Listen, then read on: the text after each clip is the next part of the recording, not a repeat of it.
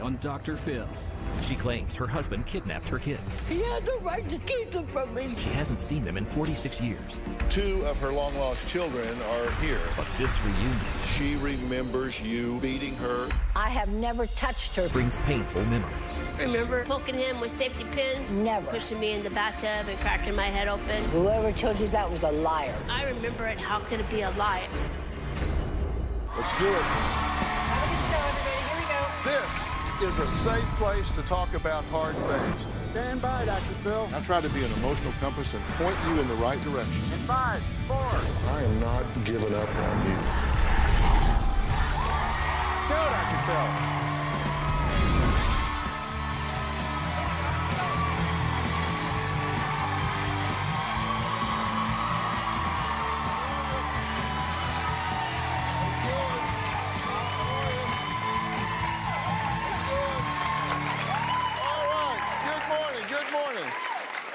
Today we are getting to the bottom of a decades-old family mystery. Now, this is Dottie, her husband Bill, and her three children, Tommy, Teresa, and Tim. Now, they seem like a loving family, right? But 45 years ago, Dottie disappeared. The children always wondered what happened to their mom, obviously, right? Did she abandon them? Did she die? What happened to them? Well, it turns out that Dottie really didn't disappear at all. She still exists. In fact, she says her ex husband kidnapped her children and she has spent her entire life searching for them. Now, she recently enlisted the help of my good friend Troy Dunn, also known as the locator, to help find her missing children. What Dottie doesn't know, and I'm going to let you guys in on, is that Troy has found all three kids. All right? Now, two of them are here today. Teresa is here, and her younger brother, Timmy, is here. But Teresa's memories of mom, well, they're just not what you might think. My life with my mother was horrible. My mother was a very angry woman. She never smiled. She was mean. She abused me and my two brothers. So, if that's true, what kind of reunion is this going to be? Well, Dottie is still in her dressing room. She hasn't been listening or watching. She has no idea that her children have been found. She has no idea that her children are here. But before we meet anyone in this story, I want to hear Dottie's version of this decades old mystery. Take a look. Bill and I had three children. My children were my life. I loved them. The abuse started six months into the marriage. If I didn't have supper on the table at 6 p.m., I got knocked around. He kicked me in my stomach when I was six months pregnant. He broke my elbow, he broke my wrist and my thumb. One time I was ironing a shirt and he yanked the iron out of the wall and threw it at me, split my head open. Another time he tried to kill me with a gun. He took out a service revolver and shot me. I have the scar on my arm right here. I had to get out of the situation. When I filed for divorce, I agreed to joint custody. The last day I saw my kids was Thanksgiving of 69. Bill was supposed to pick him up at 2 o'clock. He never returned them. I never saw my kids again. As the days went by, I came to the conclusion that he's left the state. My kids were my life. There isn't a day or a night that goes by that I don't think and wish I knew. And I just hope that somewhere out there somebody knows. Now, when we tracked down Tim and Teresa, two of Dottie's children, they had a very different recollection of their childhood. Take a look. My life with my mother was horrible. She abused me. She abused my brothers in several different ways. My mother fed me bourbon balls and pushed me into the bathtub and cracked my head open. My father had to take me to the emergency room to have stitches put in. I don't remember my mom ever abusing us. I remember what I was told. She used to poke safety pins through my little brother's skin. He's got scars from changing his diaper. My older brother, she nearly drowned him in the bathroom sink. She strapped him on his potty chair and locked him in a closet. She was kind of portrayed to me as crazy, abusive. I was told that she had gone crazy and was in an asylum. The last time that I saw my mother, I was five or six years old. I remember when I was five, an officer asking me who I wanted to live with, my father or my mother, and I told them my father because my mother was mean to me. I was three when my parents got divorced, so I think my dad did everything in his power to keep the three kids with him. There was something that he must not have liked about her, and he moved us out of the situation. Years later, when I went back to visit my grandmother, I said, Whatever happened to my mom? And she was like, Didn't you know that your daddy kidnapped you from your mother? Your mom was crazy and she didn't care about you. You're with your dad now, and your dad loves you and is going to take care of you. My dad was a good dad. I loved him very much. My mom was always portrayed to me as a villain. So she's always been a villain in my mind. Okay, it's good to meet y'all. I mean, this is obviously a very important day. Uh, you know um, that we have found your mother. What she doesn't know that we found you. She doesn't know that you're here. She's not listening to this right now. She's not seeing this right now. She- We, we have her sequestered. And she's going to come out soon, and I, I'm going to talk to her. You do have recollections about your mother, correct? Yes. And they are not warm and fuzzy. No. She abused me. She abused my two brothers. And when you say she abused you, what did she do that you recall? She pushed me in the bathtub.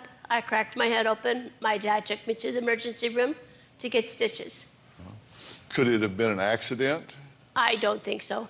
You, you remember it as being a violent sort of thing. She was a very mean woman. Uh-huh. She never smiled, never laughed. You said that your brother had scars. He has scars on his And side from and the you- safety you pins. remember I used to push her out of the way to change his pants. I'm only two years older than he is. Mm-hmm. Because I didn't want to hear him scream every time she'd change his diaper. And you don't push him with the remember this, pin. but you, but you do have the scars. Correct. How do y'all feel about being here today? I don't hold a grudge against her. Um, she is my mother. I gotta let let go of what has happened and learn to like her, possibly love her. Even though y- you recall though- her being mean, mean, and vicious to I- you I and your two to. brothers. I, I can't get to the top if I don't let go. Look, I want to talk to Dottie alone. I, I, I want to get her side of the story. Again, she has no idea at this point that two of her long lost children are even here. And so I'm going to ask Teresa and Tim to wait backstage where they will be allowed to listen to what Dottie has to say. I'm not going to let you see her Okay. because I, want you to do that for the first time here. Uh, but I, I do want you to have opportunity to listen to her Okay. and see what story she tells so you can respond to it when you come out and then we're going to all get together and try All to right. get to the Sounds bottom fine. of this okay Sounds good. are you ready to do that Absolutely. all right good deal um, so in a few minutes as i said troy dunn is here and he's going to bring dottie out right after the break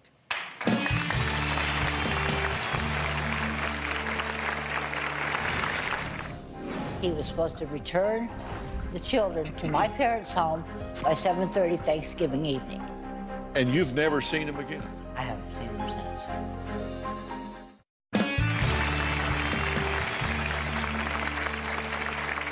For 45 years, Dottie has been searching for her three children, who she says were kidnapped by her abusive ex husband, Bill. Now, she says he abused her, not them. She says she has tried everything to find her missing children, but just simply didn't have any luck. Now, Dottie recently enlisted the help of Troy Dunn. Now, you guys may know Troy as the locator, and she wanted to see if he could find some answers. Take a look. Have you ever wondered if they have ever looked for you, and if not, why not? I have no idea. Unless they were told that I was dead when they were young. It's very possible that they may not know the same version of what happened. I would say there's a handful of people who would know, which would be everyone who was related to your ex husband. So, for an entire family to collectively make a decision to hide children from their mother is an unusual scenario. It took a lot of work, I'm sure. So, your belief is that your ex husband Bill took to his grave the location of your yes, children? I do. In all of the 45 years, has there been a time where you stopped looking for your children? Never. They're mine. I was supposed to protect them, and I lost them. Do you really want a relationship with these children? I want them in my life if they want to be in my life. Well, 45 years is a very, very long time. It'll be one of the oldest cases that I've worked on. Okay, well, I'm here with Dottie and Troy. 45 years, that's a big gap to try to fill in, right? That is an almost impossible gap. I mean, when you, when you talk about a search that's 45 years old, you're talking about something that predates all technology that we have today. Exactly. It predates the memories of almost anyone that would have ever been involved. So let me let me find out what happened because I, I think this is is very important if this is going to come to any kind of fruition. Um, we're talking 1969. Yes. And it's Thanksgiving, right? Yes. And you've never seen him again. I haven't seen them since. You think it's just a routine drop off It was just to their father. supposed to be his first legal holiday vaca- uh, holiday visitation. So this was the first time. The first time. And when I did had- you realize they weren't coming back? What happened? Well, I had to go to work. I, I, for many, many years, I've been a nurse. He was supposed to return the children to my parents' home by 7:30 Thanksgiving evening. Did you call the police? I called the police. I went to the grandparents' residence, and she, I went up to the door with the police officer, and she said that they weren't there, they hadn't been there, she didn't know where they were, and quit bothering her. I had to wait till Monday to call my attorney because he was off on the weekend. Well, wait a minute. This is Thursday because it's Yeah. Thanksgiving. Thanksgiving Day. And so Thursday to Friday, Friday to Saturday, Saturday to Sunday, Sunday to Monday, th- these like long weekend here, four days. Right. You don't do anything? The police contacted both my attorneys. My attorney called me and said that there wasn't anything he could do till Monday. He couldn't even get a hold of uh, my ex's attorney. And so there wasn't anything we could do. And What about those the days, police, though? The police couldn't do anything either. Well, They could did- not step in because it was a domestic thing and they didn't get involved in those days. Okay, but did you file a missing persons report? I did, and they said that it wouldn't do any good till after 72 hours. So you're just in a vacuum. That's right. Did you drive around and look? Did you go back over to the back house? to his. I you... went back to his parents' house. I went and knocked on the door, and they said if I didn't leave them alone, they would call the police. I told them go ahead. I wasn't hiding. Uh-huh. I had never hidden. Because I'm just, um, this was 1969. That's right. And um, I remember 1969. I was 19 uh, at the time. We're the same age back then because I was 19 at the time also, or well, I was like 23. I guess. I was 19 when I got married. So you're not a young man, I know. But you don't look old. Well, I think your math is way to hell off. I, He shot you with a gun? yes, he did. Why did he do that? He was angry because I was putting the wrong clothes out that he was supposed to wear that night to work.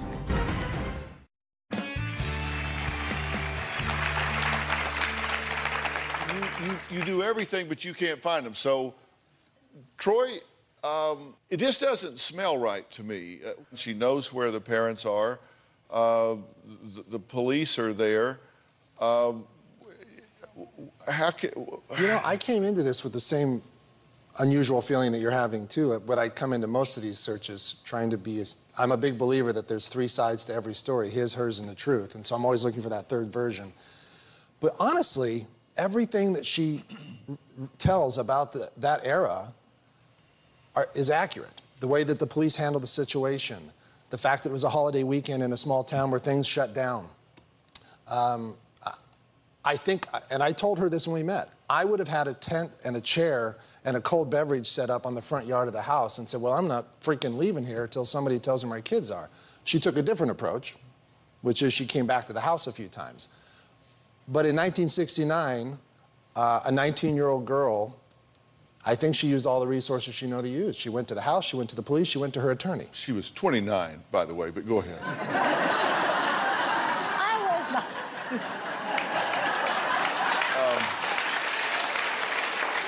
Go ahead. He said I was too. I, he said I was old enough to, to know better, but too young to care. Is what there you said. go. Well, he gave away your secret. I didn't. I yeah, just want to make sure right. you were clear. I actually believe that Dottie did everything she could do at that. Short of kicking in the door, uh, I think she did all she knew to do at that point in her life. 45 years have passed here. Um, it, it, it just have you continued to look? I was just going to say, it doesn't mean I stopped looking. Yeah. You did keep looking. Always. I mean, was this a every was every this an everyday thing and every week every thing and every single month day, thing? every single every single day that I could take off work, I Did you find him? no, He did he change his name? I have no idea. How long were y'all married? Nine and a half years. Okay. Did so you knew his social security number? You had records. I have no idea what his social security number was because he kept it hidden, and every time I changes, he changed clothes, he'd make sure that all his personal stuff was in another area, so I didn't see it. Yeah. Did He was sh- like, I- he shot you with a gun? Yes, he did. That's Yeah. right. Uh, if I mess up my jacket, they'll get mad. Well, no, you you do they There's- you do have a scar there. a- I mean, there's a scar on my arm, something yes. happened to your arm there, no doubt about it. Why did he do Because that? Because I was, he was angry because I was putting the wrong clothes out that he was supposed to wear that night to work. Are you ever going to give up till you find these No. kids? Never. Why is it so important to you They're after all these? He had the right to take them and keep them from me. I feel that I let them down because I didn't protect them from their father.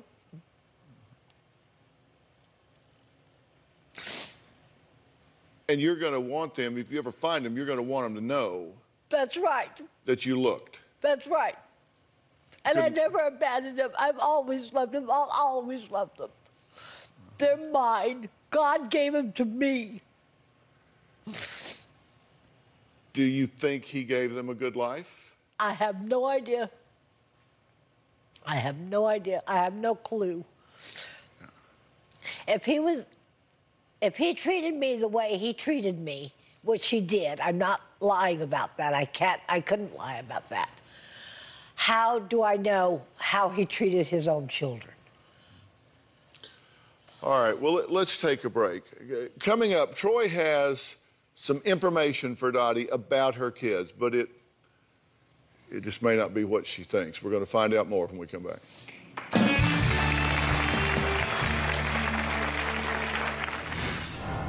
And he has found out information about your children. Are you ready to hear Yes. what he's found out, good, bad, or indifferent? I don't care what it is.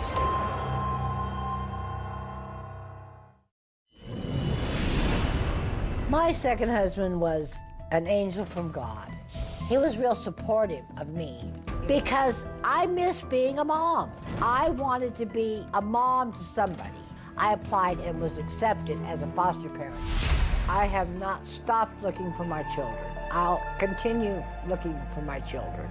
My life is hollow without my children. not only incomplete, it's totally hollow. I know that I have surrogate grandchildren and children. And they're smart kids and they're bright kids and they love me and I love them. But nobody can ever replace what came from your body.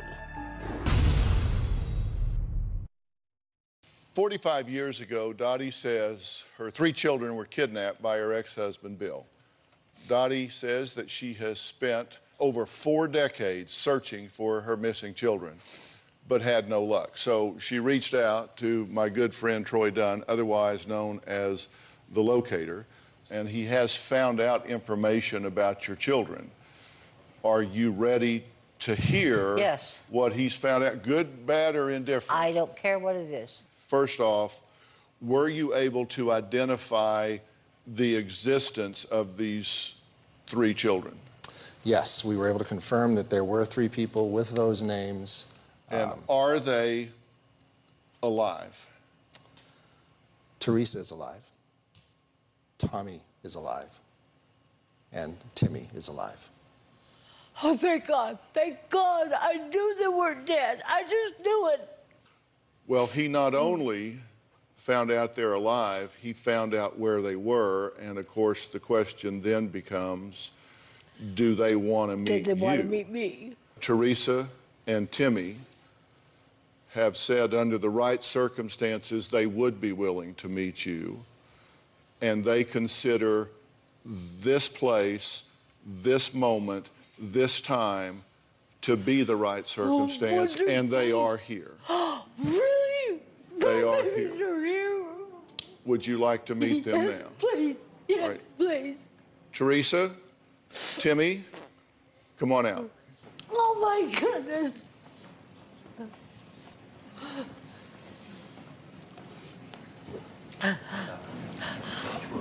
Timmy. Oh,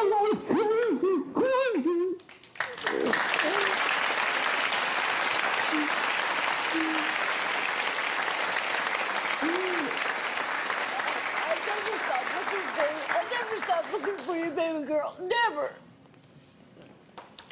Oh my goodness.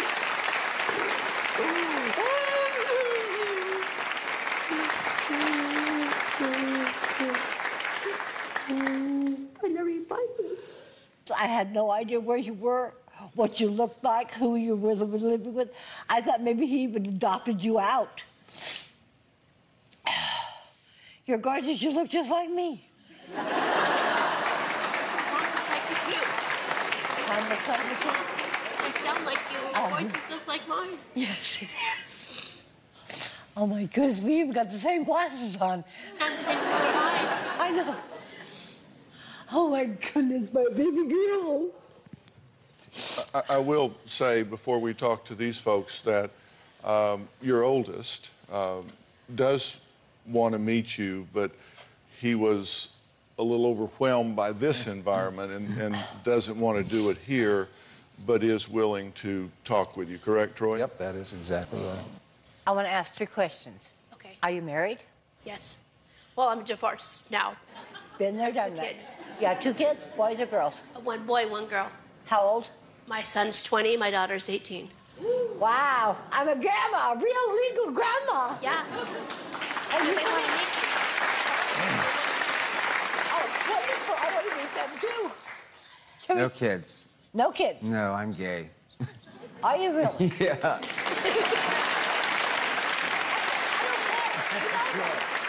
All right, let's just let's take a break right quick. Teresa and Tim, and listen, we, as I say, we deal with reality here. And Teresa and Tim say that their memories of their childhood don't even almost match up with their mother's memory of their childhood. We'll talk about that when we come back.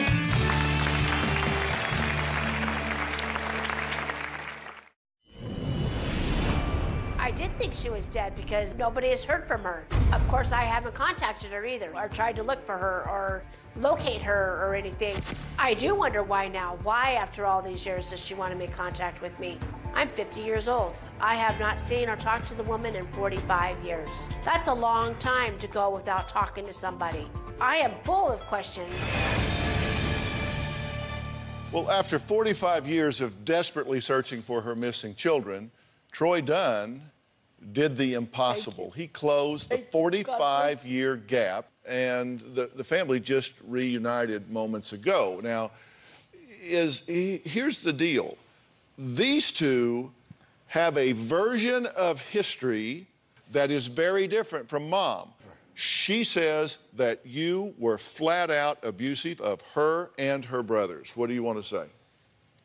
You don't remember feeding me bourbon balls and pushing me in the bathtub and cracking my head open? Never. I never did that to you. Whoever told you that was a liar. How could it be a lie? I remember it very well. It wasn't by me. It was by you. No, it wasn't, baby. I swear to God, it was not by. I never touched You don't remember strapping Tommy to his potty chair and locking him in the closet? Never. I never locked anybody in the closet. I got locked in the closet. Your father shot me with a gun in the closet. Remember poking him with safety pins? I never poked When anybody he with changed his safety. pants? No, never, ever. I didn't ever, ever, ever physically abuse any, any of my children, ever. You didn't fight for us, though. I did fight for you. Mm, I don't know. I don't. I don't know. I've personally never been a parent, but I would have never, ever, ever, ever, ever given up looking for my kids, ever. I didn't. Even if it was knocking down a door. I did not give you away. You were taken away from me by your father. I never gave you away. I never stopped fighting for you. I've never stopped looking for you. I looked in three different counties and five different states. He found me. He's the expert.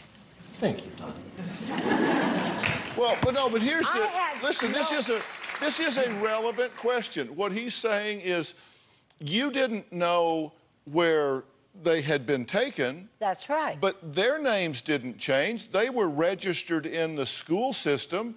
Uh, you would only have to check 50 different states to find them registered in the school system somewhere. And what he's saying is, 45 years is a huge gap that it took Troy's amazing expertise to close, but at the time they were missing, you had the ability to call schools. You had the ability to I did call- reproduce those records. I did call schools, and I was told that their records were private. I could not touch them. No, 'cause I- you're their Why mother. didn't they give you Not the in the state of California. You are not a parent unless you have fu- physical custody of that It's, child. that's just not simply not I don't true. believe I That don't is believe just that. simply not true. I swear to God, that is what I was told. You understand that Teresa believes that you didn't look for her because she believes you didn't want her because she remembers you beating her and injuring her as a child. I have never touched her physically, ever.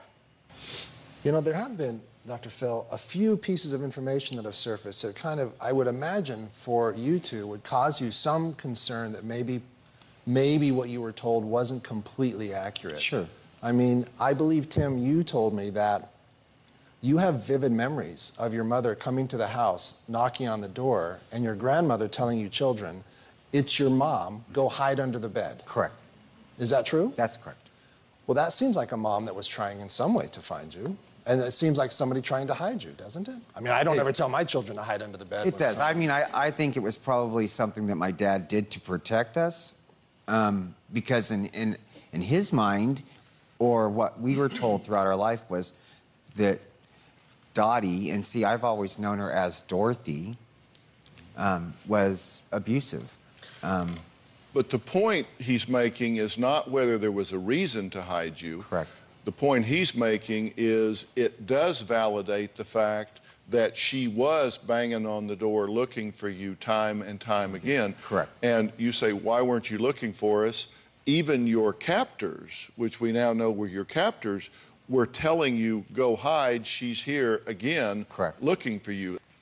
The question is, what do these folks do now? Obviously, there are issues in the air. Um, are they too big to overcome? We'll be right back.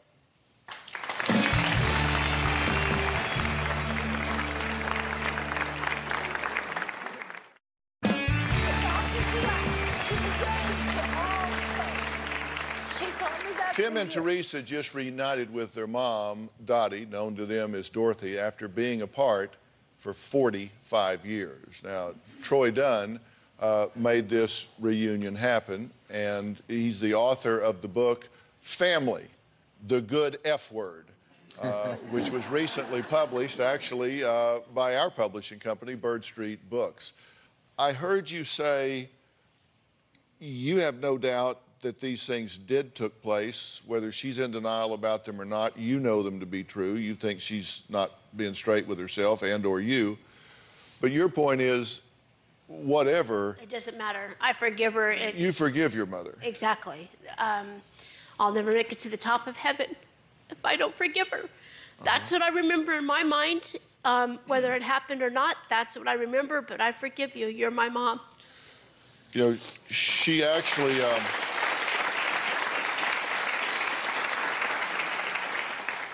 she actually held on to some of the toys Oh my uh, goodness. that you, you played with at I the don't I time. ever played with these. You used to Oh, carry And, uh, those little toys in your pockets everywhere. Do you um, And that I remember my fire little truck dolly. you do remember this? Oh yes, absolutely. 45 years your mother has held on to that doll. Yep. That, that all by itself has to say something to you. Well, of course. Jim, are are you opening to exploring having some level of relationship with your mother? Most definitely. Yes. And Teresa, you, you, you say you say you forgive her, and people can forgive but not forget, and this is something that obviously weighs very heavily on you. Um, has this satisfied your curiosity? You need to move on, or are you willing to start a dialogue with your mother and and, and see where it goes? Exactly. I want to. I want to build a relationship with her and, and see what happens. I would really like my kids to meet her. And you understand that this has to go a step at a time. That's right. Baby steps, honey. You- Baby you- steps. I, I did want to update you on uh, a story that we worked on earlier. Two years ago, when we met Karen and her husband, Tommy, uh, Karen and Tommy had placed a child for adoption 41 years prior uh, after Karen became pregnant in high school. Now, Karen was diagnosed with stage four lung cancer, and so she was desperate to find that son she had placed for adoption before time was up. You two were high school sweethearts. Yes. We met in our junior year in high school. You had a baby, Yes, right after high school. We just weren't ready at the time, so you placed him for adoption. so we did place him for adoption. It's very common that unfortunately sometimes people make mistakes when they're young and then they go off and they go build new lives. But to end up together, married, all these years later, I was very moved by their story. You feel some sense of urgency in this this search, correct? Yes, sir, I do. Tell us why. Um, I've been diagnosed um, with stage four lung cancer. I am so grateful to be able to tell you he's alive and he's here. Let me introduce your son, Dave.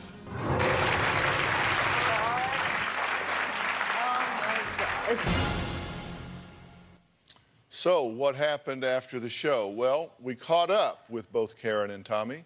Take a look. Hi, we're Tom and Karen, Dr. Phil, and Troy Dunn found and introduced us to our son that we hadn't seen since birth 42 years ago. And we continue to enjoy and love and cherish the time we have with our, our son and his family. We have a wonderful 12 year old grandson. We've had some grand experiences that we've never had in our lives, such as having Christmas and birthdays and things that have brought tremendous joy into our lives with our new family. We'd like to take this opportunity to thank Dr. Phil, uh, thank Troy Dunn. It just couldn't be more and wonderful. getting better. Gets better and better. Well, Karen, Karen is still battling uh, cancer, but she is defying doctors' expectations. Uh, we will wish them all of the best. Uh, now, switching gears.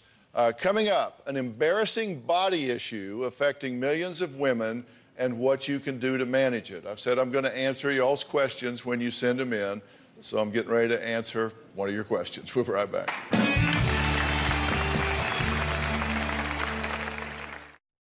It's no secret that as you get older, your body begins to change, right? I wasn't always bald, um, at least this bald. And for some people, like my next guest, certain body changes can feel embarrassing at times. Take a look. When I get the urge to go to the restroom, I have no time to wait. It's 0 to 60, I have to locate a restroom immediately. Laughing, coughing, sneezing will all result in a certain amount of leakage. The incontinence will range from a little bit of leakage to a full release of my bladder. In the past year, I've had to throw away between 10 and 12 pair of underwear. My kids know me for my various dances and facial expressions as I feel the urge coming on the Duke. It's a kind of traditional John Wayne cowboy walk. I then go to the mermaid. My knees are pinched together, and in the unfortunate event of a an accident, I just kind of walk like a zombie until I get to my location to clean up. I feel it's hard for women to talk about this topic because of the stigma. I believe it is taboo. Is this type of incontinence normal? If so, how do I move past the stigma and start living my life again? Well, Cindy's here along with Dr. Rachel Ross from the medical show, The Doctors. Good to see you again. Uh, as well as author and journalist Barbara Hannah Grufferman. So, welcome to all three of you.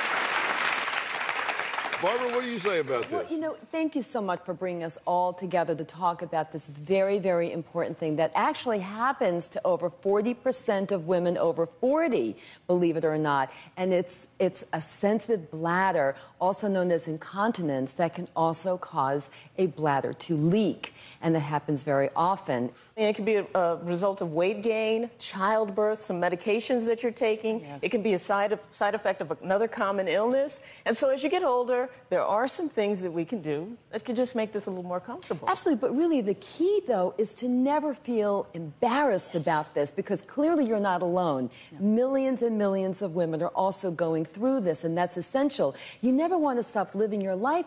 You never want to stop being afraid to cough or sneeze or, or stop doing the things you love to do. You've actually found out that you weren't the only one experiencing this, right? Because when it happens, you get to thinking, oh, you know, I don't want to let anybody know about this, right? Sure. Absolutely. Um, as women, we sometimes talk about very intimate details of our personal lives.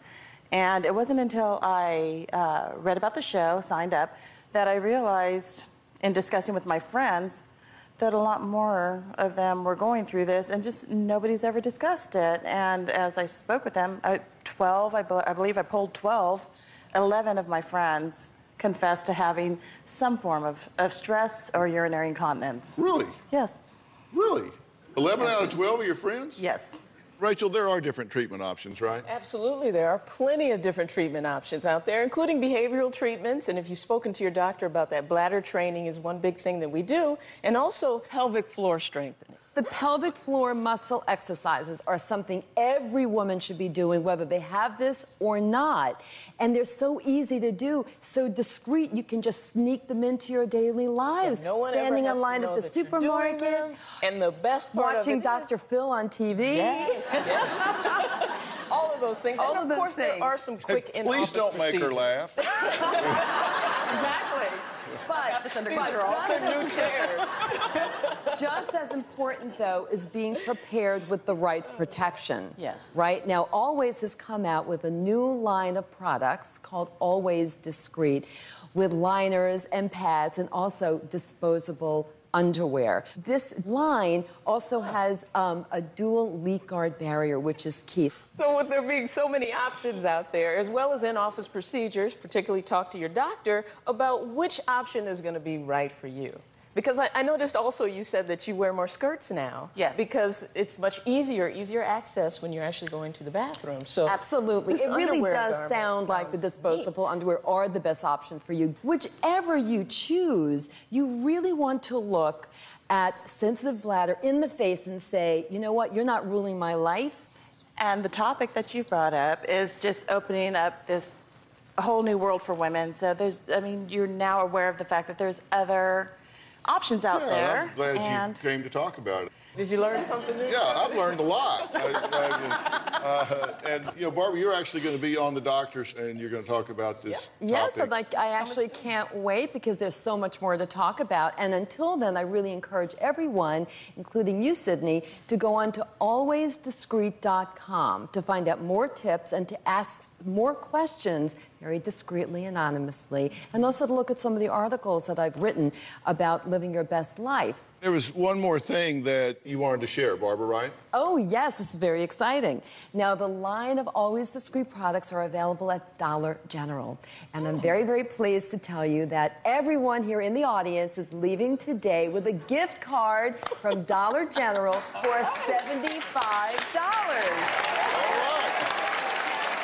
I want to thank all of my guests for being here today, especially my good friend Troy Dunn. Troy and his team continue to stand ready to help those searching for a long lost loved one. You can reach Troy at troythelocator.com. Troy's book, Family, the Good F Word, is available through our own publishing company, Bird Street Books. I'd also like to thank Dr. Rachel Ross and Barbara Hannah Grufferman.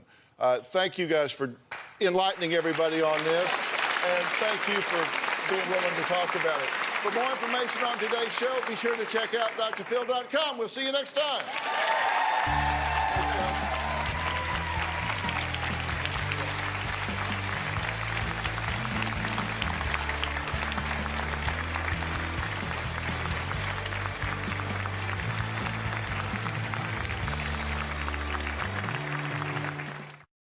Today on Dr. Phil, she thought she had the perfect family.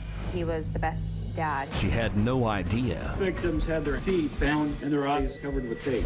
that her husband You found ladies' nylons. He says these are for you. was a predator. I found this brown paper bag with zip ties and syringes. Police found a stun gun, handcuffs, and leg shackles in his car. Have you been living with a serial rapist? Let's do it. Have a good show, everybody. Is a safe place to talk about hard things. Stand by. We'll count you down. I try to be an emotional compass and point you in the right direction. Five, four. I am not giving up on you.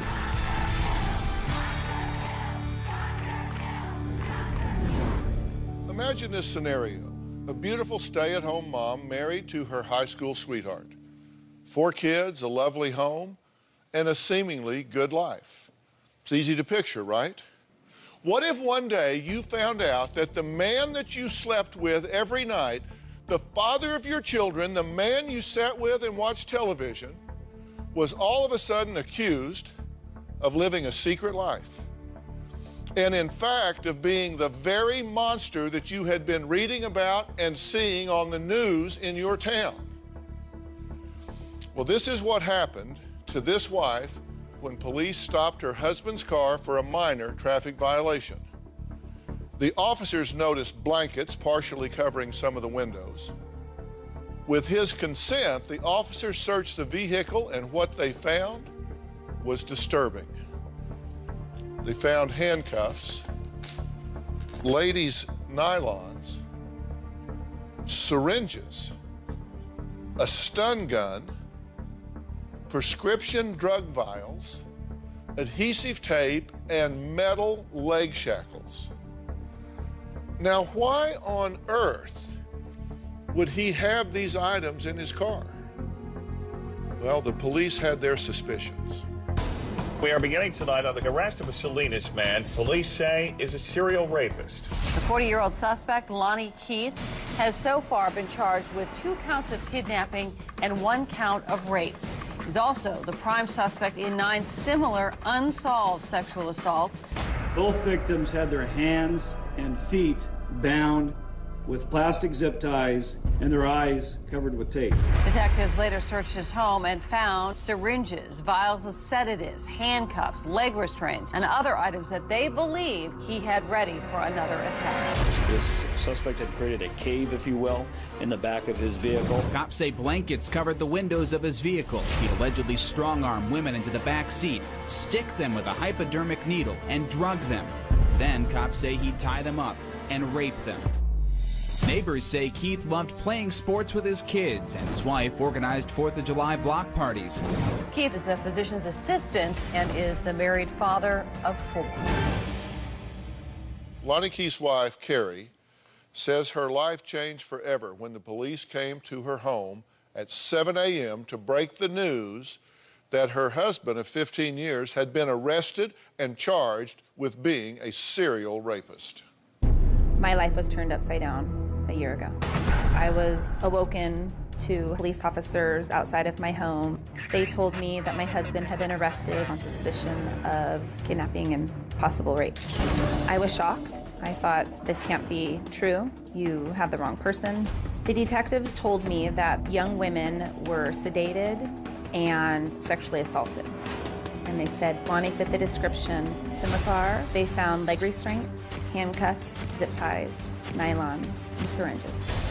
The medical stuff he said that it was just left over from the night before, which made sense. He worked in a hospital. I asked him why they found restraints or the women's nylons, and he suggested that they were for me. But I'm not into bondage and those type of things, so that did make me feel weird. I just kept saying to myself, this can't be happening. Lonnie and I were married for 15 years. It scares me that if they do have the right guy, I laid next to him in bed and had a family with him. Lonnie never showed me any signs of any kind of hate towards women. We have two daughters together, and he was the best dad since he's been gone. The girls don't want to talk about their dad being in jail. There was some teasing for my son at school. It's hard to think that somebody who you've been with for half of your life could at all be accused of something so heinous. All right, Carrie, I- I'm glad to meet you, but I'm sorry for the circumstance. We always talk about hindsight being 2020. As you now look back, do you see things now that didn't register with you at the time? Honestly, sorry, my voice. That's right. Um, honestly, the things that I did see and find, he was having an affair, and I found out about that in like October of 11. Right. And the things I found, I always thought were for her. So as far as seeing this, no, no, absolutely not. Now he's been arrested, he's been indicted, he's pled not guilty, um, and so we have to treat these as allegations because he's not been convicted of it. Right. I wrote some things down for us to look at. You found some things in the home a- at the time. They were in paper bags in two different locations, correct? Yes. Well, you found zip ties. Mhm. You ask him about it, and he says these are for the bushes around the pool. Yeah, that it was just for the pool. You found ladies' nylons, not yours. Um, and he said that they were for you. Right. Were they still in wrappers? No. He says these are for you. So what he did is he's saying, I bought these, unwrapped them, wadded them up, stuck them in a paper bag with zip ties, and Yeah. put them behind the dryer and Well, the dryer was yeah at his. Um, he had an apartment for about five months. right. And um, and so yeah, they were hidden there. He knew I was being snooping, like I was snooping, and so he said that he put those there um, because he knew I was going to find them, and so yeah, A- And then you found syringes. hmm I did yeah. And he says these were left over from his job as a physician's assistant. Right, which he worked nights at that particular hospital where he probably would have had access to those meds. And so it didn't seem weird. It wasn't like he had a hammer or something with him. It was, you know, he's not a carpenter, he wouldn't have had that. But the, um, the syringes didn't seem super weird. But however, when I did find those things, I did say, you know, to myself, I thought, well, maybe he's using the, the needles for his own personal use. You know, he works a lot. Maybe he's depressed. One medication I found was something with a um, like it like when I googled it, it said something about like um, depression or something. So maybe, you know, he was shooting up because he was depressed. I don't know. I mean, nothing. But you found medication. Mhm, Yeah, a couple times I found vials of meds too in his car. But I thought, okay, he, he works. I mean, it's just, I mean, it, again, it, I didn't think it would be that weird to have you know, medication because he's in a hospital. So, you know, he goes into a room, pulls that out of his, you know, coat and, you know, shoots, you know, puts whatever medication into the syringe and gives the person, you know, medication. It didn't seem that weird. It wasn't that far fetched. Yeah. To me. Doesn't, yeah, of course. But you, you've never worked in a hospital. No. yeah, because that's not how Yeah. that, that's not Yeah. how that works. They, Yeah, I don't know. I don't. Well, it- because you, really, you don't know, and I, I don't want to make light of that because now we look at it in this context, and it seems more obvious or, or more noteworthy. But at the time, I, I can understand how it might not. Did you ever notice that the the SUV was draped, the windows were covered? His car, a couple times, I did see where the blankets were like, you know, on the seat of the chair and then mm-hmm. up. I did see that. And um, I would ask why, and he would just say, you know, when I have to sleep in the doctor's lounge at night, it's, you know, I'm sitting with two chairs propped up, and he's six foot four, so he's pretty tall. So I could just picture him sitting with like two small chairs, and so he'd say, you go out there and sleep at night. Did you mention this to anyone else? Any of the things that you found? You mentioned I- to your mother, I did. I did talk to my mom. Uh, uh, yeah. and she had an opinion. Yes, mothers do. um, mine especially. My, I'll just say my mom watches a lot of crime scene shows. One day when I told her that, you know, I found this brown paper bag with those items that were I listed, she said, "Could Lonnie be raping women?" And I'm like, okay. And I don't want to say it on TV, but of course I said, "Are you, you know, something me? You know, like you're kidding. This is like seriously." And she's like, "Oh, "Yeah, that sounds yeah." And um, and so she kind of reneged on it a little bit. Um, but of course, I didn't think that. I just was looking at always the affair. So everything I found, I just spun on it, but for her. Even when I found this stuff, I was like, oh, the nylons are for her. Oh, the zip ties, she's weird. She likes that. Like, it was just, I know it's stupid, but um, I couldn't get off of that. Like, I just, So you you explained it away in your mind by saying Yeah, this is something he's doing with S- Sweet Baby over here, right? I've got another name for her. Yeah, well, I- You- yeah. Okay. yeah, Well, lots of bleeps in there, but there yeah. were questionable items that the police found uh, in the car. Correct. Mhm. Uh, they found blankets and bedding covering Mm-hmm. the car's rear window. hmm Uh, they found syringes loaded with an unknown substance. These were not syringes; they were loaded. They were. uh, rubber latex gloves, several nylons, adhesive tape cut into strips, uh, metal handcuffs, metal leg restraints, plastic zip ties, multiple vials of prescription drugs, sedatives, flashlight, stun gun. hmm They found strips Mhm. already torn and Yeah, was- pre Yeah, the tape, um, I, I, they did show me pictures of it. And um, if you're sitting in a car like this, the little center console here, the, the tape, um, like duct tape or something, had like gauze on it, and it was like two right here. And when they asked me about it, I'm like, oh, I could totally see that for your eyes. And they're, they're like, what? And I was like, I don't know. I'm just picturing, like, you know, when you go to a spa and they put, you know, on your eyes or something. That's just kind of what I pictured. And so I don't know if that's what it was for, um, because then he later said it was for his toe, because he often had issues with the ingrown toe or whatever. Yeah.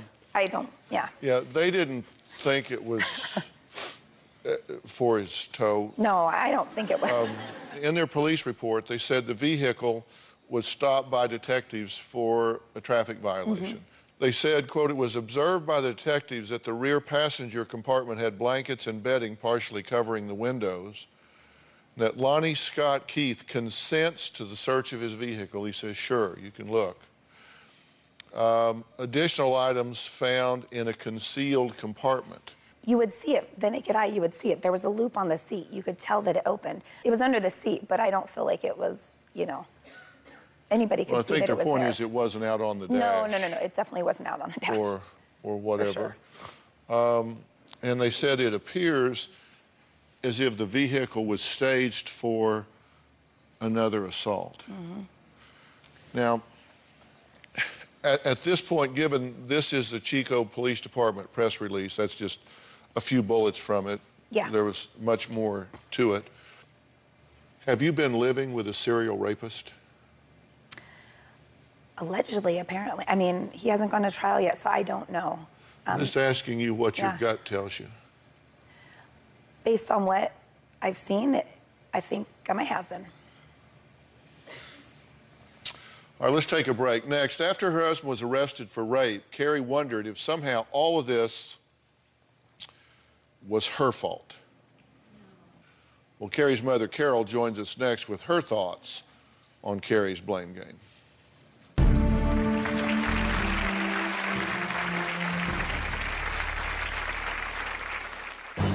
Before Lonnie was arrested, Carrie did find some zip ties, medication, syringes out in the garage, and then she found behind the dryer at his apartment. One was a knockout drug, and one was a wake-up drug. Every time she would question him, he would explode.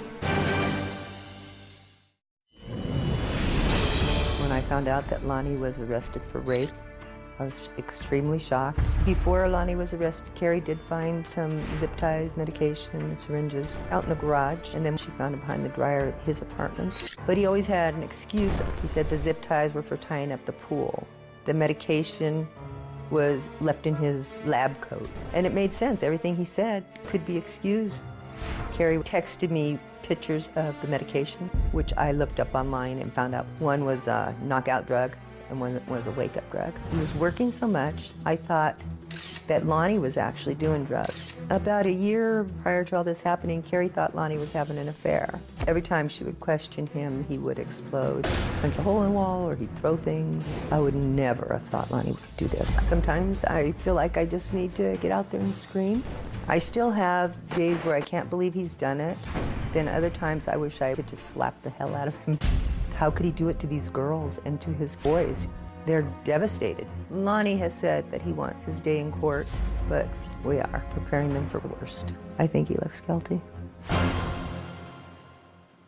Okay, well, I'm here with uh, Carrie and her mother, Carol. Carol, you were suspicious of him long before all of this broke, right? I was suspicious more of him having an affair, Right. Um, but I became more suspicious with, with things that Carrie found Yeah. of something else going on. Now, and let me just clear something up right away. Um, sometimes we can get really frustrated with ourselves because we don't see something or it, it, it, it doesn't jump out at us. But here's the thing a normal person's mind can't go there. I mean, you don't just normally say A, B, C, Q, R, X. That's not how we think. And so it's real hard for us to even conceive that somebody might be doing something so heinous, so bizarre. And, it's, it, that's a good thing that your mind can't go there, that you don't jump to a conclusion that later becomes obvious or confirmed.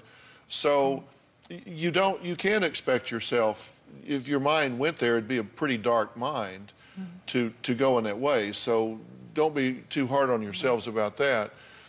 What does bother me is that your daughter has said that she really wrestles with herself about whether or not some of this is your fault.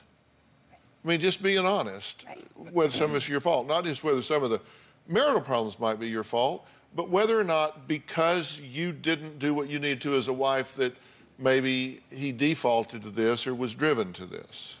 Tell me what your thinking is, and just be honest. I can't help you with what you don't tell me. Right. Um, yeah, I mean, up until, excuse me, um, before I found out about the affair, I, I was just, I don't want to say just a stay-at-home mom because I was, that was, that's a lot of what you do for um, kids in your family, but that's what I did all day. So I didn't find it necessary at the time. Now, now looking back, I probably would change things, but um, I didn't wear makeup. I didn't do my hair. I kind of just stayed in yoga pants all day, those type of things. So, you know, um, so maybe if I did paid a little bit more attention to myself that way, um, you know, after I had had my little guy, who's now three, um, he would sleep in the middle of us at night. And so it'd be Lonnie, a pillow, the baby, and then me. You know, so I mean, I kind of separated us. So, I mean, I don't know if, if that was it. How does that link up in a cause and effect way to somebody deciding that he's going to go kidnap and rape Yeah. young girls? I don't take any part in that. I definitely, I don't, I don't, I think that that probably, if I'm think, I don't know, I feel like that probably is something like stemming from way back. Um, as, yeah, I just don't see that. But as far as the, um, the affair, I mean, I feel like I probably wasn't, I don't know, I emasculated him a lot. And, you know, Well, I wrote down some specific things that you said because they were very troubling to me. One is you said, I should have seen what Lonnie was really up to. Uh, you said, I should not have been a bitchy wife. Yeah, that I was. You said, if I was thinner, more beautiful, more loving, Lonnie wouldn't have raped other women. Those are your words. Yeah. Not I mine. said that. yeah. I've always battled with my weight. That's always been a big thing. Um, funny when I first found out about the affair, and I, you know, of course, went on a Facebook, MySpace, all that type of stuff to find her. And when I did, I'm like, oh man, she's thin. That like really made me mad. Didn't care about the pretty part. I was like, oh man. And so yeah, that's like my own insecurity. But I mean, I guess she was just there in a hospital and paid him attention. And you know, in a letter she wrote to him, she said, you know, I'll always let you watch football. I'll rub your back and all this crazy stuff. And I'm like, okay, I've got four kids. I'm sorry. Like, I, I would, you know, I just, I just couldn't. I don't know. Maybe just do the things that somebody else could. I. And now looking back, I mean, I feel like in the next relationship, you know, that I'll be so much better because I know what not to do. But we were so comfortable. I mean, I was with him since I was 15. You know, we just had 22 years of, you know, being with somebody. That's a long time. you get comfortable with them. Yeah, and I, I know that you, you seem focused on the affair because it's something that you can put a face and a mind to, mm-hmm. but your doubts extend to why he would go do anything, why he would turn away from you and go do these things. And y y let me tell you something. You can search through the literature, sociology, psychological, psychiatry, wherever, uh, on why rape occurs, why rapists rape. And I can tell you, sexual gratification is very low on that list. This happens because of a demented sense of entitlement. It happens because of a sense of power and control and anger and rage and sadistic mentalities. Th- this has nothing to do with how cute you are or whether a child slept in your bed or how much you weighed or didn't weigh. Do you hear what I'm saying? I do. Does she hear what I'm saying? I, uh, I think she's trying to blame herself for a lot, and she's not to blame. This is a sick person who has done this, if, if he did it. Well, there was something that we discovered in Carrie's home that troubled me. We'll discuss that when we come back.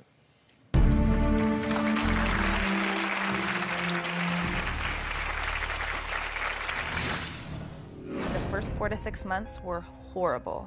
It was the worst of our lives. One of the producers had mentioned they heard a voicemail message. Yeah. With the kids and Lonnie? Yes, it is.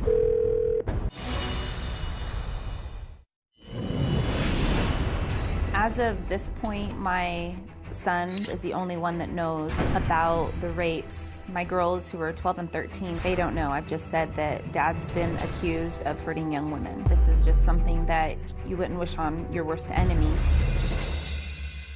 Well, that was Carrie, a mother of four, whose husband of 15 years made news last year after being arrested and charged with kidnapping and raping young women near the local college campus. She says she is now struggling to move past that scandal and put her life back together emotionally for herself and for her family. Now, when celebrities, politicians, or even other countries are caught in the middle of a scandal, many of them call my next guest to try and fix it. Judy Smith is one of the top crisis management experts and also the real life inspiration behind the popular character Olivia Pope from the hit TV show Scandal. She is also author of Good Self, Bad Self How to Bounce Back from a Personal Crisis. So I asked Judy to meet with Carrie and her mother uh, at the Keith home in Northern California. She made a house call. Take a look. I'm here today visiting a family who is in very serious crisis. The husband and father has been accused of rape. It's a family that needs help. Hi. Hi, Carrie. I'm Judy. Come on in. Thank Come you. in. Thank you. It's good to see you. I kind of want to start from the beginning. You guys go way back. We had a really good marriage up until about 2011. I found out that he was having an affair. Did the kids know that their dad had cheated? on their mom? Mhm. Yeah, And yeah. how did they find that out? I think they just saw a lot of the arguing. Tell me about Lonnie's arrest. How did you feel about it? I felt numb. Like, how am I going to tell my daughters? How do you think the kids have been dealing with it? The first four to six months were horrible. Mm-hmm. It was the worst of our lives. One of the producers had mentioned they heard a voicemail message. Yeah. With the kids and Lonnie? Yes, it is. Hi. Lonnie. Carrie, we can't get to the phone. Leave us a message. Bye. Hard. Yeah, it's definitely hard. It's, you know, he's a part of our family, and, you know, you just can't forget that. Where was the zip tie and the nylons? There was a box, and I just, I would snoop everything up. And I found a brown paper bag with the nylons, the zip uh. ties, and the syringes. What'd your Me. mom say? What did she think? Well, she said, could he be raping women? And oh I'm my like, God, so your mom thought that. my mom Right. watches a lot of crime scene shows. Do you feel as a family that all of you are victims as well? We're definitely victims. If he's found guilty, do you think you'll ever be able to forgive him? No, no. There won't be any forgiveness. So you think he might be found guilty? I think he's going to be found guilty. I hope it's all right if I talk to your mom as well. So, Carol, obviously everybody was shocked. What did you say to him when you found out? I told him, Lonnie, basically, what they found in your car makes you. I don't see how you could explain all that stuff. I trusted Lonnie 100%. What do you think now? Now I am so unsure. How do you think it'd affect your, your daughter and your grandkids? It's going to be really hard on everybody. Tony will be my biggest worry. Yeah.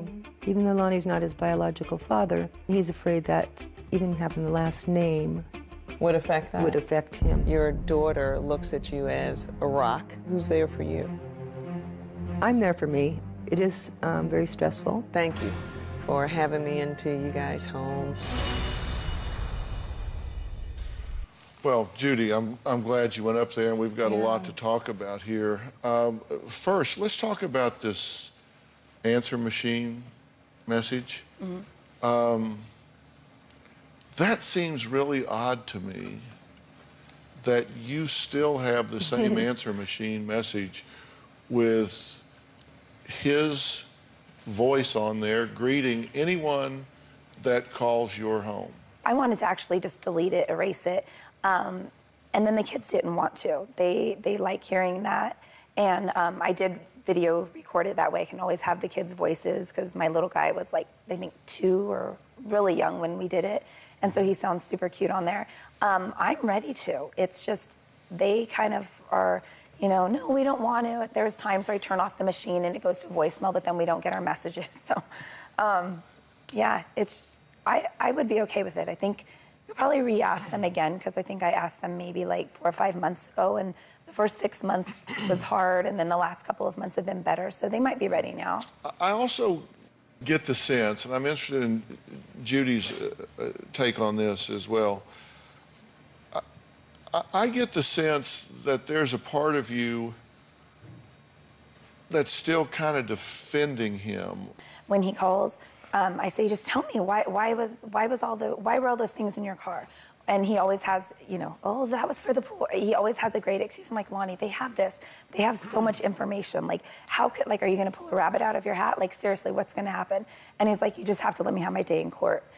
I work with corporations and celebrities and, you know, all of that sort of stuff. And we see, and I've come to learn that everybody's the same, right? We all get ourselves in, in trouble, but at the core, it's that, it's that um, issue. Like, how did we get there? What, what, what happened? And I think for you along the, along the way, and a lot of times clients need this sort of that big shock, right? Um, there were there were a lot of warning signs. Are you entertaining that this might just all be a mi- big misunderstanding? No, I'm pretty sure it's not. Um, I mean, if so, um, I mean, because they've had him for over a year now in um, police um, custody. I think the bail is $3.2 million. Yeah, yeah, it's pretty high. There's strips of tape pre-torn in a vehicle with syringes and sedatives and duct tape and handcuffs. A lot of stuff. I didn't know about the handcuffs. I didn't know about And- uh, the stun gun. Those things, like actually, um, right before Christmas time, um, he had gotten. Um, he was saying, "Oh, I'm going to go all out this year for Christmas," which he does, and um, he had said, "Don't go opening up any boxes and things like that. You know, don't don't check your email and all that." And so he had. I later found out that that's when he bought the stun gun and the handcuffs and the leg restraints. So I didn't know about those things. Well, Okay. Well, all right. We're going to take a break. Um, and when we come back, uh, Carrie's oldest son, Tony, is 15 years old. And he feels that he is now the man of the house. Should that be his role now that his father is gone? Well, we're going to talk to Tony next.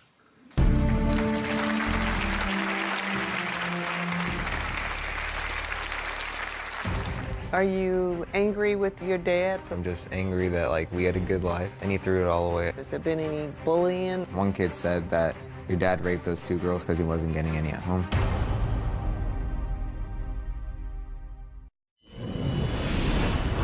The fact that my husband Lonnie is still in jail, all of our resources went away. For 12 years, I had been a stay at home mom. Income was no longer there. Times are tough financially. I've decided I have to let my house go, that I just can't afford a mortgage payment. It feels horrible. We have friends here, and to have to wa- walk away from all that, it's hard. Carrie says that her world was shattered last year when her husband Lonnie was stopped by police who found a stun gun, handcuffs, zip ties, ladies' nylons, syringes, prescription drug vials, adhesive tape, and metal leg shackles in his car. He was then arrested for allegedly kidnapping and raping women. Now, cr- top crisis management expert Judy Smith met with 15 year old Tony to get his thoughts on this scandal that made news and rocked his family to the core. So, Tony, are you angry with your dad for putting you and your family in this situation? I'm just angry that like we had a good life Mhm. and he threw it all away. It's all gone. When you first heard about it, what was your reaction? Very shocking. Do you still think he's a good dad? Was he a good dad? Yeah, he's a good dad. I don't understand why he did it. I think there were signs, but I just don't think anybody picked up on it. How have kids been at, at school and maybe online? Has there been any bullying? There's a website that people can make comments. One kid said that your dad raped those two girls because he wasn't getting any at home. Let's assume that your dad is found guilty. Are you concerned about your younger siblings? Yeah, my sisters aren't gonna have their dad to like walk him down the aisle and stuff like that. Somebody told me that you wanted to change your name. Yeah, Do you feel in some ways that changing your name is going to make it better for you so people won't associate you with him? yeah, I do. He's not my biological father, and don't feel as close to him. So we know that um, your dad has been charged. There's still a trial and hasn't been convicted. If that happens, is that scary for you? Yeah, uh, not a lot of people like those kind of people in jail, so they Mhm. tend to hurt him, I guess. Yeah. You fear for his safety, his life? Yeah. You still love him? Mhm. Always will? I still see him as my dad. That's where you want to keep him. Mm-hmm. Thank you, Tony, for taking the time. I really appreciate it. I know it was hard, but I, I do. Thank you. You're welcome. Well, joining us now is 15 year old Tony. Um, Tony, I appreciate you being here. I wish we were talking about a million other things uh, than this. Judy, what are the most important things for Tony? I mean, kind of what's the Judy Smith fix it plan for managing this scandal from his point of view? Yeah. Um, I think it's going to be critical for, for Tony. I agree, which is that he can't take on the role as a father figure. I wrote down the things you said. Number Yeah. one, you said, don't try to be the man of the house. You're not a substitute for the father. Ignore people who may use the situation to hurt you. It's your right to say you don't want to discuss. Right, that's Um, exactly right. We had talked a lot in terms of kids. You know, oftentimes kids can be mean and, and bullying. And a lot of times when kids do that, it's about their point of view. It's not about, it's not about the person. And you say And it's that's important, to realize that he did not create the situation and could not have prevented it. That's right. Tony is not responsible for it, and oftentimes we feel bad like we could have done something. And no, we couldn't have. It is his mess. He created it. He has to he has to deal with it. How do you feel about his attitude about wanting to change his name in terms of managing this scandal and crisis? I think it's a small part of it. I think it's a very small part of it. Changing the name, if that is to run from the crisis and not to deal with it, that is not going to be helpful whatsoever. You have to do those things in terms of addressing it and talking about it. But, but I do think that it gives Tony uh, a fresh start for him, in particular because while he loves this person, I'm sure still, it is not his dad. So I, I don't I don't see that as a as a problem, but it has to be part of a bigger solution and part of a bigger plan. Yeah. All right, Carrie says that she's lost her husband and his income after his arrest one year ago and doesn't know how to dig herself out of this crisis. Well, we'll see what our Fix It expert Judy Smith has to say about her management plan when we come back.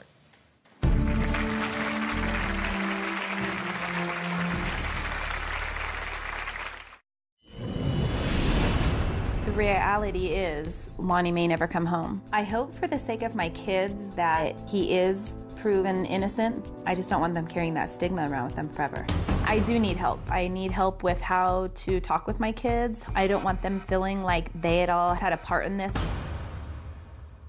That was Carrie, who says she does not know how to deal with the scandal of her physician assistant husband, Lonnie Keith, being arrested for allegedly kidnapping and sexually assaulting at least two women over the course of 18 months.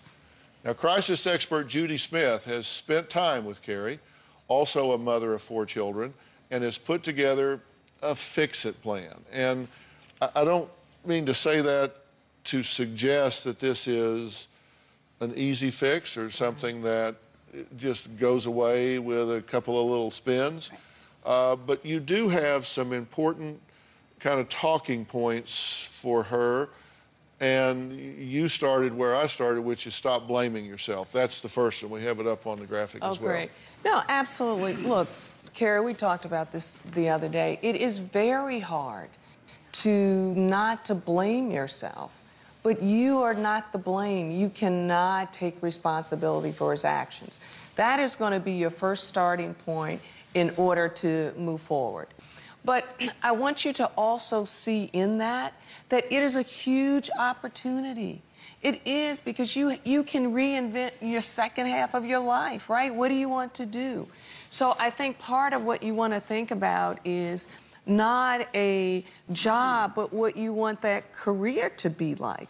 And you said that she needs to let go of Lonnie's baggage and start building this new life. I mean, fair or unfair, it is what it is. And the sooner you get started, the better off, right? Yeah, and, and letting go the baggage relates to the first point, which is coming to terms with, I did not do this. I did not cause this. So you can put his baggage some other place and put it out of your hands. And that, that's, that's important. And you said reputational management's important. And one of the things that you say is you got to plan ways to discuss this with family and friends that you're comfortable with. And the point is, people are going to see her at church or the store or in the pickup line at school or whatever. Uh, some people are going to bring it up. Some people are going to like, oh, I don't know what to say. She's got to come up with, here's what I say, here's what I do, so you don't have to think about it fresh every time you're with somebody. Have That's a plan. right. A- absolutely. You and I both feel it's important to seek family counseling. Please allow me to make that a gift from us to you guys and you make so that much. arrangement to, to help all of y'all sit down and think through this. And Yeah. we'll make those arrangements for you back at home. Okay. So you do have someone to that. talk Thank to, you. and you're going to need maybe some life coaching and career thinking. Yeah we, we want to help you with all yeah. this because you're the victim here, not the mm. perpetrator. Mm. All right, I thank you for coming thank here. You. Thank you. We'll be right back.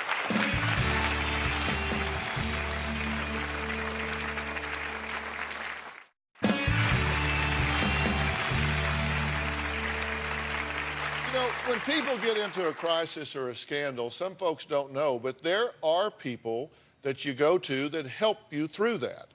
And Judy Smith is one of the top crisis experts in the country, and she has helped rebuild the reputation of celebrities like Wesley Snipes, Jesse Jackson Jr., Monica Lewinsky, NFL quarterback Michael Vick, and many others.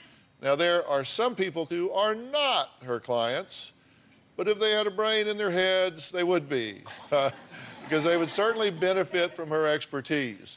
So I just kind of want to talk about this. Here's a clip of a controversial public figure, New Jersey Governor Chris Christie. Ah. Traffic nightmare, a deliberate act of revenge? Stuck in traffic for four hours? All because they didn't support New Jersey Governor Chris Christie? Wildstein's attorney claimed that evidence exists tying Mr. Christie to having knowledge of the lane closures during the period when the lanes were closed, contrary to what the governor stated publicly. I had no knowledge of this, of the planning, the execution, or anything about it. And then I first found out about it after it was over. And even then, what I was told was that it was a traffic study. Okay, people always say politics, uh, are, you know, they're first national, then they say no, they're local. Local, I think they're personal. Yeah. And if you're sitting on that bridge for four hours, you are pissed off. And if you then find out he did it Right. as retribution, you're going to be like hugely pissed off. What's he do now? No, absolutely. But th- this is what he did, which was right, is that he came out and he's done this twice, uh, at least, is to say, I did not have any knowledge of it. I didn't know anything about it. And he has said that and he has denied it. Now, what's going to be the problem here is that what happens in crisis oftentimes is that when you start an investigation, you're going down this road, you see something that takes you down that road. And then that road is a very dangerous turn because we don't know where that might lead. All right, we'll be right back.